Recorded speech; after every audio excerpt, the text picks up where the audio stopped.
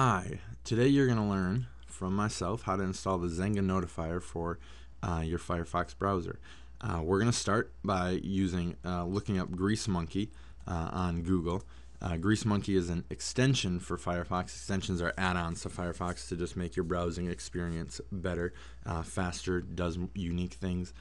so GreaseMonkey, if you Google Grease GreaseMonkey, it should be the first thing that comes up uh, is at mozdev.org, Mozilla Development, Mozilla who is who puts together the Firefox browser. Uh, their instructions here. Get Firefox 1.5 if you don't already have it, uh, which we do, and you should. Uh, if not, click on that link and go ahead and install it. And next, we're going to install GreaseMonkey. You're going to click on this button. Uh, you're going to have a pop-up at the top that's going to have uh, to protect your computer. Firefox prevented this site, greasemonkey.mozdev.org uh, from installing software on your computer. You want to edit the options. You want to allow that site, uh, hit close, and then hit install GreaseMonkey again. Uh, it's going to take about four seconds to install it. You can click install now. It's going to say it's going to install it. GreaseMonkey will be installed when Firefox is restarted. Uh, you can close that window. You're going to restart Firefox, so we're going to hit uh, the, the, X there. It restarts here. Um, now we're all set. If you notice, there's a little monkey in the bottom right corner. That means GreaseMonkey. Oh, it does say it should highlight GreaseMonkey is enabled when you put your mouse over that.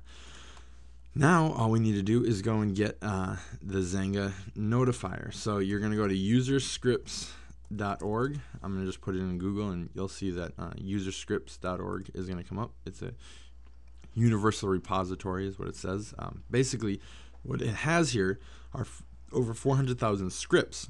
And scripts are what uh, is utilized in GreaseMonkey. They're little things to make uh, things run smoother, which like the Xanga notifier. So you're going to come over here. You see search, search scripts in the um, box over here. You can type in Xanga and hit enter. Or if you just type in Xanga, it should search while you uh, while you type it. Down at the bottom here is the Xanga comment notifier. Uh, we're going to click on it. Oh, it's written by Ariah Fine. How neat. Um, right up here, it says install this script. Okay, you're going to either, uh, you have two options. Let's just click on it. Uh, it's going to bring up this big old text and code and everything, which uh, is what the Xanga notifier actually is. Uh, and it's got this little bar up here that says, you know, some unique little thing, and it says click install to start using. Hit install. It says the notifier was installed successfully. Hit OK